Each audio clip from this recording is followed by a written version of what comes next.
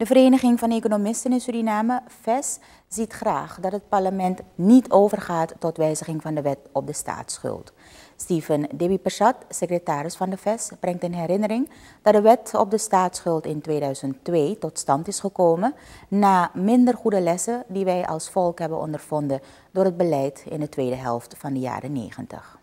Op dit moment uh, hebben wij als land al problemen met terugbetalen.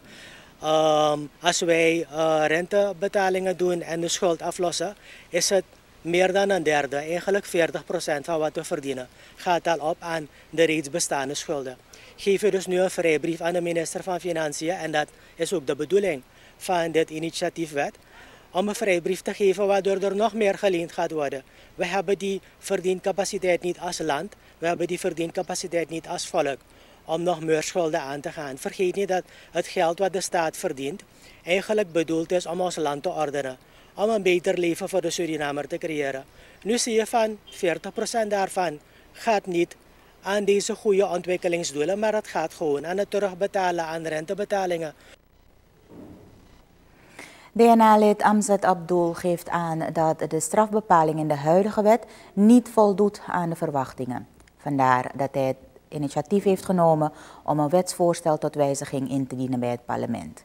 Abdul vindt dat deze zaak tot politiek steekspel wordt gemaakt.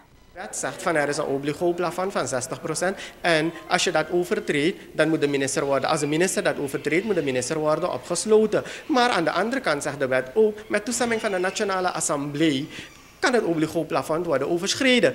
Dus de Nationale Assemblée kent geen grenzen. De Nationale Assemblée kan gewoon aan de regering zeggen, je kan, de wet, eh, je kan het obligo-plafond twee maal, drie maal, vier maal, vijf maal, noem maar op. Ik geef maar een voorbeeld. Overschrijden. Heb je daarmee dan het doel bereikt? Nee. En dat is wat de mankementen van de wet zijn. Dat is wat, waarover we nu willen praten. Dat is de discussie die ik nu wil opstarten. Van laten we over zaken praten die niet in de wet staan. In plaats van dat mensen constant aanstalten uh, maakt om de minister op te sluiten.